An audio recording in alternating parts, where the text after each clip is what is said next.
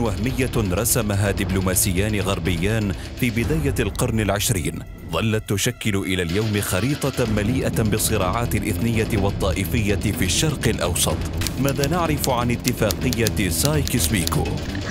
الكعكة العثمانية أثناء الحرب العالمية الأولى طمعت بريطانيا العظمى وفرنسا في اقتسام أراضي الدولة العثمانية شرق البحر المتوسط حال انتصار الحلفاء على المحور.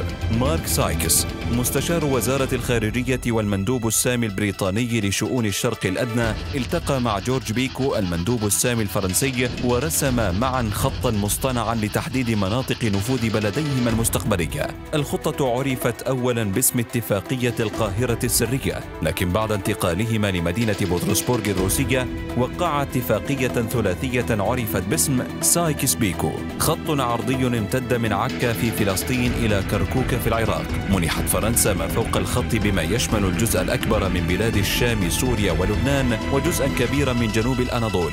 بالإضافة للموصل في العراق أما بريطانيا فلها ما دون الخط بما يشمل وسط وجنوب العراق وشرق الأردن وميناء عكا وحيفا. فلسطين توكل لإدارة دورية بينما روسيا لها الولايات الأرمنية في تركيا بالإضافة لحق الدفاع عن المسيحيين الأرثوذكس في فلسطين على أن يمنح العرب دولة موحدة في المنطقة المحصورة بين الأقاليم البريطانية والفرنسية لكن بشرط أن يكون لبريطانيا وفرنسا نفوذا واسعا عليها. وفي مقابل ثورة العرب الداخلية على الحكام العثمانيين وفقا لاتفاق الحسين بن علي شريف مكة مع السير هنري ماكماهون المفوض السامي البريطاني في مصر.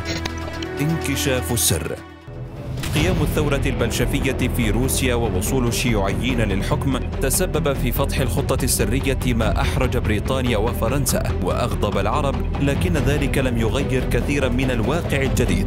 مجريات الحرب وتقدم البريطانيين منحهم فرصة لتعديل الاتفاقية وتوسيع نفوذهم حيث ضموا الموصل إلى العراق كما خضعت فلسطين للانتداب البريطاني بدلا من الإدارة الدولية. وانتقل جنوب الأناضول أو ما عرف باسم لواء الإسكندرون تدريجيا من النفوذ الفرنسي إلى تركيا الحديثة.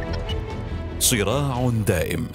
الخطة الاستعمارية أغفلت رأي شعوب المنطقة وقسمتهم إلى دويلات ضعيفة متنازعة ومهدت لإنشاء الدولة العربية الحديثة ذات الصراعات الإثنية والطائفية وأخلفت وعدها للأكراد بمنحهم دولة قومية كما أخلفت وعدها للعرب بإنشاء دولتهم الموحدة وهو الهدف الذي دفعهم لإشعال الثورة ضد الخلافة العثمانية التي دق سايكس وبيكو المسمار الأخير في نعشها فيما أوفت بوعد وحيد كان كان لليهود حينما منحتهم وطنا قوميا في فلسطين فور إنهاء الانتداب البريطاني ليدرك العرب خيبتهم متاخرا